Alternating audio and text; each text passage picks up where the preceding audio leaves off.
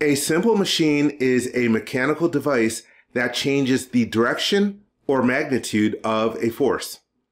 The lever is a bar that pivots on a fulcrum. A lever consists of three parts the fulcrum, the load that is acted on, and the effort applied to lift the load.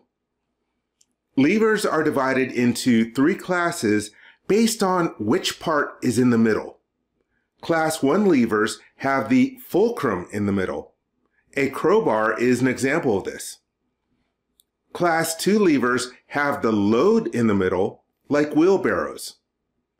Class 3 levers, like your arm, place the effort between the load and the fulcrum.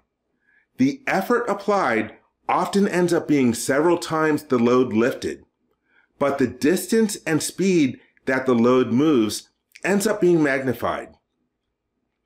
Advanced machines that incorporate levers include cranes, forklifts,